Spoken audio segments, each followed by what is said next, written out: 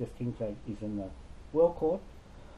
and so we're going to replace the Queen. I'm going there as the trustee myself with four three others to make up the four again.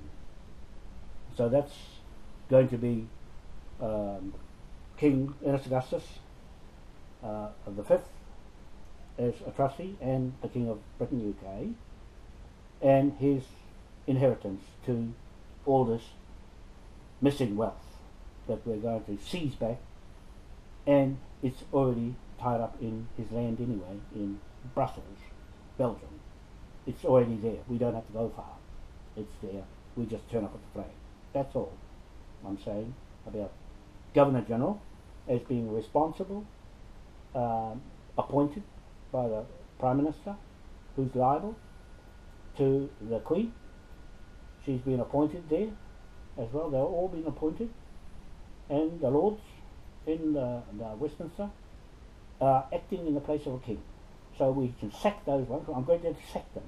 Our, our man, Matt Taylor, in uh, London and Brighton, uh, it's got videos out already saying we're going to sack them all. And that's what's going to happen. Nigel Farage is in the UKIP and the DUP party in Northern Ireland will get whiff of us coming over with the flag and deal to the fraudulent governor generals and presidents in the world and in the world with their. So that's the story about governor generals here in New Zealand uh, that um, uh, have a problem now with us, with um, um, Patsy Reddy.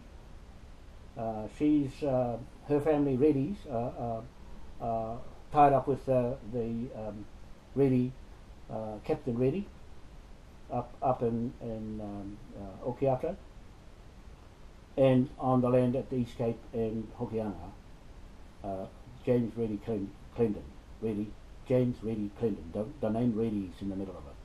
So that's a connection there. I see why they planned all this up with the, the Crown corporations to mask themselves as if they are the owners of the land, which is really not so. So the Governor General um, uh, here in New Zealand, um, to you, uh, you'll be hearing from us very soon, from the Paramount Chiefs, from um, Manahi, Parapara, Mahini, in the courts, the notary public and justice in the native grand jury trial magistrate court. Thank you very much, people. See you later.